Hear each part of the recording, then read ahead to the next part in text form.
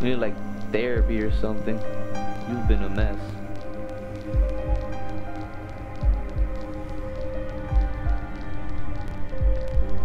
This place is not safe for you. Go home.